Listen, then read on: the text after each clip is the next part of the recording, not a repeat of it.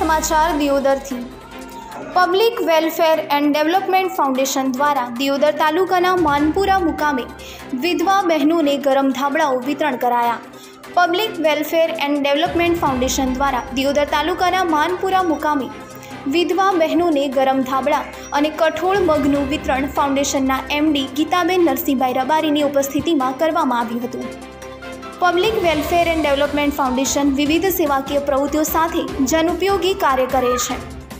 જેના ભાગરૂપે વિધવા બહેનોને શિયાળામાં ગરમ ધાબળાઓ અને કઠોળ મગના વિતરણનો કાર્યક્રમ યોજાય.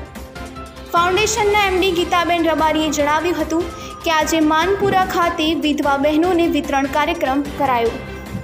ભવિષ્યમાં આ વિસ્તારમાં વિધવા બહેનો વિકલાંગ, ગરીબ બાળકો અને પર્યાવરણ તેમજ આરોગ્ય શિક્ષણને લગતી પ્રવૃત્તિઓ પર કામ કરશે.